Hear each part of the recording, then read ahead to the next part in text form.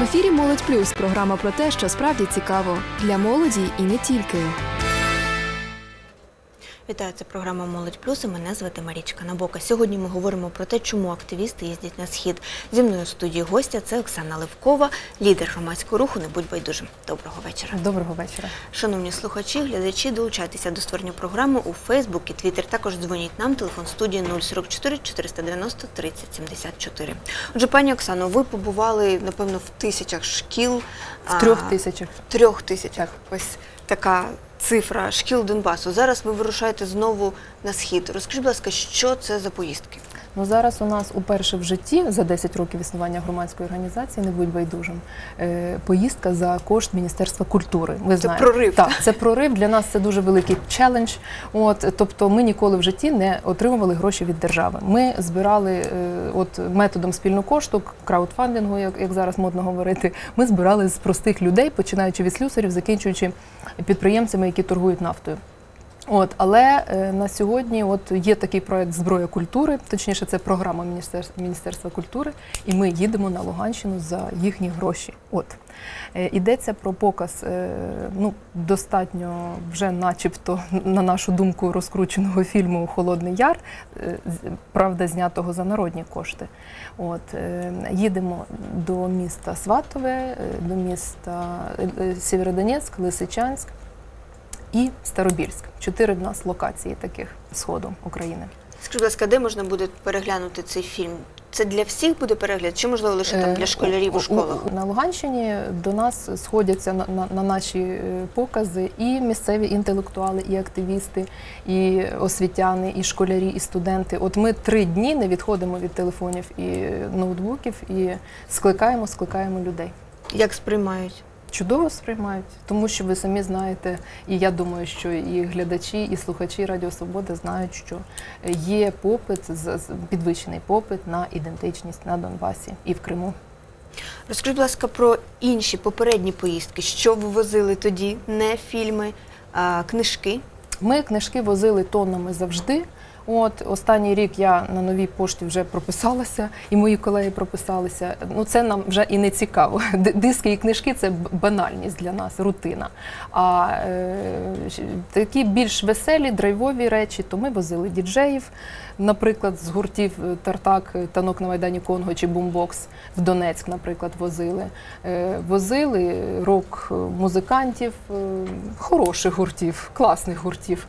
Е, І м, літературні вечори. Сергій Жадан з нами їздив, Сашко Ушкалов з нами їздив, Тара- Тарас Прохасько їздив. От і це все отак, от роками. І ну, звичайно, мені тепер дуже приємно, що всі що більшість громадських організацій, які в принципі займаються освітою і культурою, згадали, що у нас є Донбас, до якого теж бажано доїжджати, і, і Крим. е, Куди треба просочуватись, от але насправді ми ж то всі розуміємо між нами, дівчатами, що Треба було раніше це все робити, причому масово, а не локалізувати, а не проводити круглі столи у місті Києві, е, де переконані переконують переконаних. Так, там, де аудиторія однорідна, більш-менш. А, Ми поспілкувалися з лідером групи Тартак Олександром Положинським, який також їздив на схід з поетичним десантом а, і побував е, тоді в звільнених е, українських містах. Ось що він нам розповів. Доброго дня, Рубіжанський ліцей. Дуже радий вас вітати, шановних гостей. Запрошуємо вас. Я був на концерті в Харкові, приїхав Олесь, Сергій Жадан, всі інші учасники цього нашого міні-туру прийшли на концерт. І після концерту сказали, Сашко, якщо ти вільний, їдеш завтра з нами. Ну, в принципі, в мене і вибору то особливо вже не лишалося.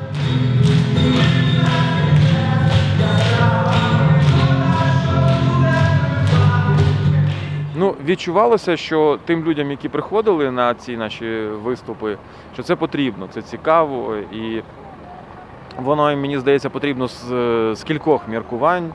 З одного боку, з чисто культурного, просто їм цікаво було послухати там вірші, поспілкуватися з поетами і так далі. З іншого боку, мені здається, що е, ну, для них важливо було відчути оцю моральну підтримку з боку е, всієї України, тому що поети, які е, були в цьому турі. Ну та і я. Ми представляємо різні регіони України. Ну, я в огромнейшем восторге. Не, серьезно. Это очень, очень Нам приятно, что вы нас посетили. Е, Наша присутність е, там, вона мені здається, таку створювала е, атмосферу єдності, спорідненості. Дивимось, позуємо. Увага. Якби там мене спитали, як це треба робити там 5-10 років тому, то я би про це казав, і я про це казав не раз і писав про це. Е, Держава мусить дбати про українську культуру, про українську музику і підтримувати її, і пропагувати її, і створювати для неї е, максимально сприятливі умови існування і розвитку, і популяризації. От зараз, звичайно, це все теж потрібно, але зараз умови специфічні, і тому мені здається, що е, є дуже багато тонких моментів, в яких варто не помилитись. Я переконаний в тому, що зараз е, культура е, має нести функцію певної пропаганди, функцію агітації. Але якщо це перевести в якусь е, формальну площину, якщо це зробити офіційною якоюсь політикою, е, вивішеною на, на транспарантах, то це може навпаки наробити шкоди. Пані Оксано, на вашу думку, е, все-таки як пояснити людям, які ще не дійшли та, до цієї думки, що все-таки волонтерам, активістам, поетам, музикантам, українцям треба е, подорожувати на схід і от що вони можуть донести туди? Угу. Ви знаєте, це системна проблема. Це ж е, як, якщо починаєш от заглиблюватись, е, е, розумієш, що одне за друге чіпляється. Там цілий клубок питань. Знаєте, якщо в Україні в принципі внутрішня міграція, а ми всі знаємо, що- мається на увазі, тобто от курсування людей з точки А в точку Б дуже на низькому рівні, ніяк не порівняти з Польщею чи Німеччиною чи Францією, країни, на які ми орієнтуємося, начебто, то е, волонтери, як частина суспільства, вони ж не можуть, от е, суспільство не рухається, не, не циркулює е, країною, а суто волонтери якраз рухаються. Вони теж частина суспільства, яка всі його проблеми на собі несе. І все-таки я дуже рада, що ми вийшли. Ні, ну звичайно, це гріх так казати, але саме війна і майдан активізували нас до такого рівня, що кожен, як стверджують фахівці, кожен четвертий уже брав участь у якихось е, волонтерських ініціативах. Кожен четвертий українець, що приємно. Ну скажу вам чесно, що у Сполучених Штатах кожен третій громадянин є волонтером якоїсь організації. Е, Як пояснити активістам? Думаю, що з часом все більше і більше людей буде включатися в цю діяльність, тому що на державу ми ж розуміємо, що не дуже є надія. Яку мету можна поставити ось цим людям, які будуть їхати на схід? Е, Їм ну е, бачите, я е, працюю в матриці культури і в матриці освіти, і тому я можу про це говорити. Е, Дуже важливо висвітлювати білоплямні теми з історії України і всіляко наголошувати на, на тому, на жаль, що е, ми з росіянами, ну братами, в принципі, ніколи не були в жодному столітті. От і ем, чому я кажу на жаль, на жаль, тому що світ, бачите, глобалізується, але е, ми з, з росіянами не можемо зглобалізуватися настільки, щоб потоваришувати. Тому що ну, метрополійна така от закваска імперська, е- е- експансіоністська постійна така потуга, інтенція, розумно кажучи, чи там намір не, не, не, не надто розумно кажучи, вони залишаються, вони нікуди не поділися. От і е, про це пишуть просто сотні культурологів зі світовим іменем, історики, ментологи, е, фахівці з ментальності. От і тому. Е, Треба якось нам опиратися, е, от якраз через культуру. Я завжди говорю під час різних різних інтерв'ю, що культура в нашому випадку має бути імунітетом проти пропаганди російського штибу. От саме так. Таке Я наскільки знаю, ви дисертацію, здається, з Так, теми саме, російської саме пропаганди. Про, приблизно, ну не саме про це, ну саме про російську пропаганду і як їй опиратися. Так, в далекому 2008 році Ну, е, тоді вже. Так. можна було напевно е, спрогнозувати якісь речі і також проаналізувати наскільки важко дійсно боротися з цими от стереотипами, адже все-таки населення сходу України. Ну, от ви згадали, наприклад, ось це братерство України Росії. Так, так. Наскільки важко е, долати ці міфи? Е, ви знаєте, важко долати, але все одно це можливо. ті ем, постколоніальні нації чи народи, які це практикували, про що написані тисячі підручників, е, вони ж так само завжди робили. От. Алжир свого часу емансипувався від Франції, е, Індія свого часу емансипувалася від Британії. От. І якраз через культуру, не, не, не, кажу, що насилля обов'язково має бути через е, от, е, просвітницькі проекти. І це нормально. Мені дуже шкода, що. Що таких організацій громадських у нас небагато, які беруть за круглий стіл, садовлять психологів, дитячих, зокрема, чи підліткових, е, садовлять е, істориків, е, філологів, чи, скажімо, художників, музикантів, ем, що ми робимо роками, і виробляють якийсь продукт. Маю на увазі диск цікавий з відеоуроком, маю на увазі методички цікаві, креативно написані, не шароварно написані, не маргінально. І веземо тоннами просто на схід. Дуже важливо фізично доправляти ці матеріали. Не можна думати, що у нас все існує, бо воно в Ютубі. Ну так будь-хто в принципі ж може залити в Ютуб, але не факт, що звернуть на цей твій продукт увагу. А, а продукт то, вибачте, агітаційний і він потрібен. Ну як же ж до, до чого ж ми дійшли з нашими толерантностями і нашими такими дуже політкоректними е, такими замашками загальноукраїнськими, що тепер е, от е, керівники воєнкоматів говорять мені. Оксана, а хлопці що проти росіян не хочуть воювати? Поможіть, підкажіть, везіть, давайте університети підключайте, давайте академіків підключайте. Ну, академія наук от вийшла е, на мене і на колег моїх. е, Дали нам тонну книжок, і інститути різні дають нам. І ми це все тягаємо на, на плечах, звичайно. Дуже важливо пр- просочуватись в різні школи, університети на сході. Ну і ви кажете, Криму. що попит на українське є Однозначно зріс, однозначно І зріс, зріс. звичайно, звичайно. Чого, чого потребують, от, наприклад, школярі, студенти? Цитую вам е, одного з викладачів е, Луганського національного університету імені Шевченка, який в університет переїхав до Старобільська. Везіть нам все. Все везіть, розумієте? Книжки везіть, фільми везіть, танцюристів везіть, не гопака, які танцюють, а ті, які модернізовані форми, співзвучні часові е, пропонують, хореографічні. Е, От буквально нещодавно, звичайно, це не, зовсім схід, це самісінький центр України, Кіровоградський університет педагогічний. е, Нещодавно відвідала. І там прекрасні хлопці е, грають. Ну, вони е, у стилі реггі відтворюють Ліну Костенко. Так само Шевченка начитують репом.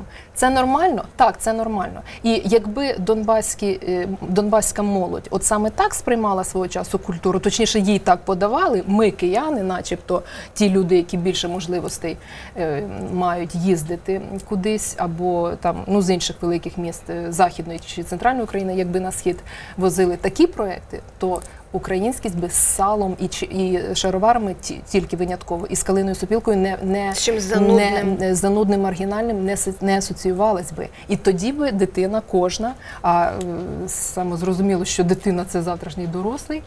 е, Розуміла би, що вона Укра- ну, та, можна бути українцем нормально. Це, це не дуже відстійно бути українцем. Але ми про, прогавили, просто держава прогавила ну, 23 роки. Затерті слова, але це правда. Про нинішню ситуацію е, з молодими людьми Слов'янська і прифро- прифронтового Дзержинська, від якого до окупованої території буквально кілька кілометрів, спілкувався Сергій Горбатенко.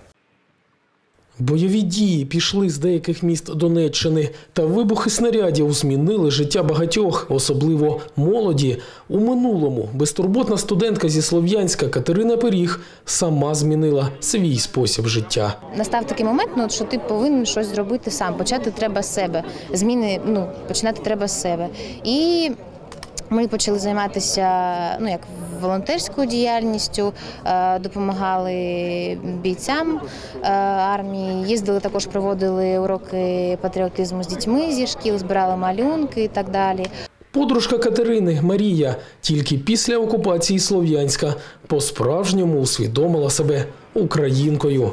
Я думаю, що війна змінила багато що в кожному з нас, і особисто мене змінила дуже, тому що після війни я зрозуміла, що таке національна самоідентичність. Тобто я вже почала ідентифікувати себе як українка. Я в принципі до цього розуміла, що я українка, і розуміла там, що я розмовляю українською мовою і все таке інше. Але е, коли можеш втратити це, розумієш справжню цінність того, що в тебе є. І саме після цього моменту захотілося от говорити про те, що ти українка, і по-справжньому пишатися цим. Життя у прифронтовому Дзержинську змінило долю і Сергія Палагути. Йому лише 19, а він уже керує громадською організацією. Громадська організація у нас е, місяць як діє. Ми тільки організувалися.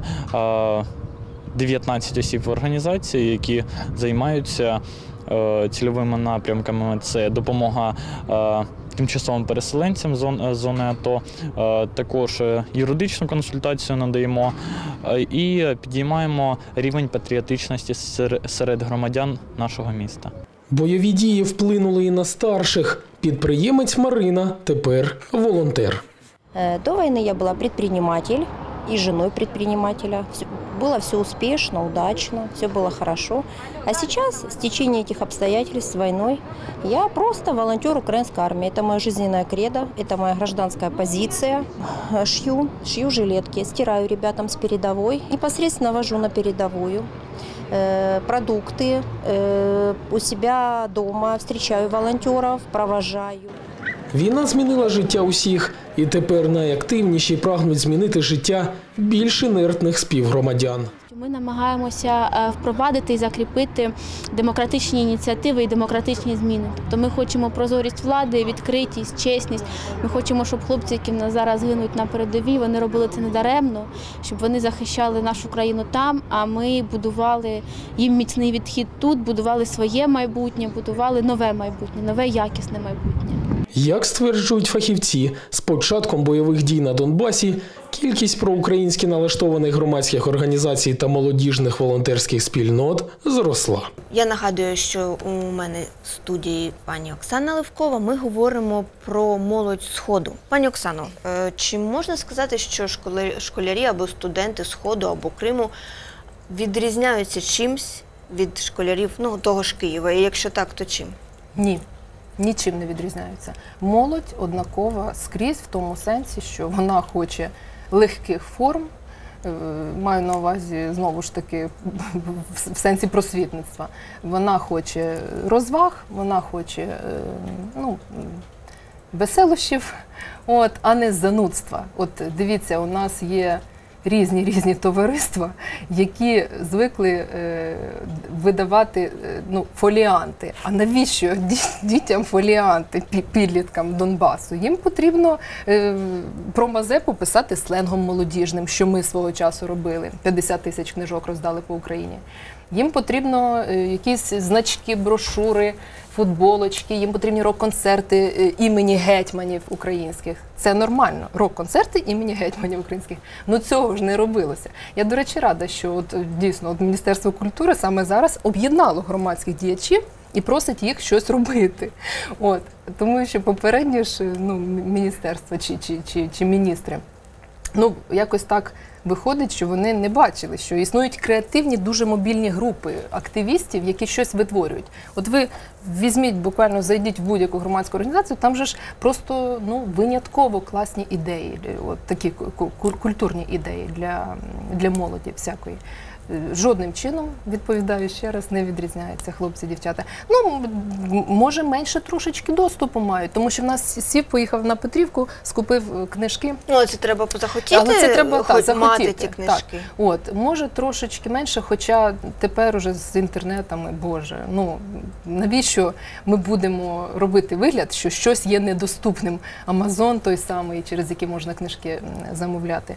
Але е, ну потрібно е, потрібні вчителі, які їх активізовують. От саме з учителями ми постійно теж проводимо роботу. Метод об'єднання влаштовуємо різні там навіть аж до того, що фестивалі для вчителів якихось. У нас були випадки, коли. Вчителі трошки обурюються, ну на сході обурюються, тобто деякі такі, е, що Навіщо ви нам нав'язуєте щось там своє, або чому ми маємо велити пам'ятник Леніна? Але це поодинокі випадки. Щиро вам кажу, це поодинокі випадки. Ну а окей, вплив російського телебачення там на вчителів старших або на ту ж саму молодь. Е, Так, вплив ніхто ще не скасовував вплив телебачення, а особливо російського, яке вміє просочитися абсолютно в усі дірки, в які його насправді е, навіть в ті, в які його не запрошують. Ну, але е, саме через це ми і мусимо гарувати. Тобто, я би як ну. е, Насправді це має все бути так. Має бути е, держава, яка виконує свої обов'язки в сенсі е, культури, знову ж таки, і одне міністерство і друге, культурне і освітнє. Мають бути громадські активісти, які рухають, рухають, рухають, і має бути великий корпус підприємців, які це все фінансують. Всі ми, всі ми розуміємо, що у держави ну завжди, мабуть, буде мало грошей на такі штуки. Тобто взяти команду е, молодих виконавців чи молодих е, письменників завести кудись з точки А в точку Б, це дорого. От і, і всі решт, і е, навіть той самий апарат, як, як говорять, обладнання музичне привезти чи будь-яке інше, це дорого. Але от потрібна що ця третя, третій сегмент в цій всій тріаді. Потрібні підприємці, яким це потрібно. Е, Зараз останнім часом, півроку я вже ходжу, от, от системно прямо ходжу до, до підприємців, щоб підфінансовували українські фільми, саме фільми. Е, В більшості я чую відповідь: вибачте, пані Оксано, гроші на АТО, на бронежилети, на медпрепарати і так далі. Звичайно. Тобто, е, ну, здебільшого люди не дуже бачать зв'язок між культурою, між сьогоднішніми проектами і нацбезпекою. Не бачать. Вони не розуміють, що якщо сьогодні не попрацювати з, хлопцем А, е, Н чи дівчиною Х е, в місті Маріуполь чи в місті Краматорськ, то він завтра виросте сепаратистом. Ну, не бачать цього причинно-наслідкового зв'язку.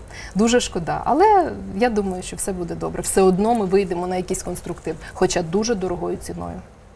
Ви згадали Маріуполь, е, кореспондентка місцева Радіо Свобода Аня Чуданова поспілкувалася з тамтешніми школярами і студентами і порозпитувала а, про те, як змінилось їхнє життя за останній час.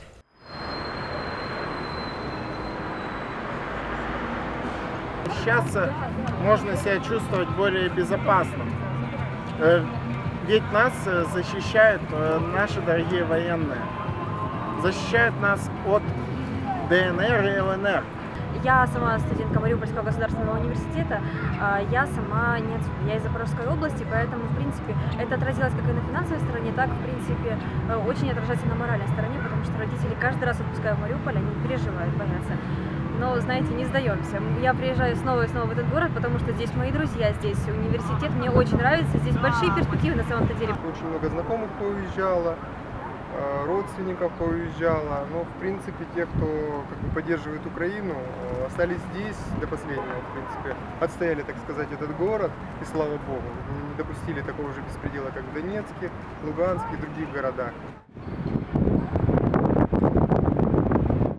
Пані Оксано, ще раніше був е, дуже такий цікавий і яскравий проєкт е, під назвою Секс. Я Був. розшифрую для слухачів-глядачів сучасне епатажне креативне слово.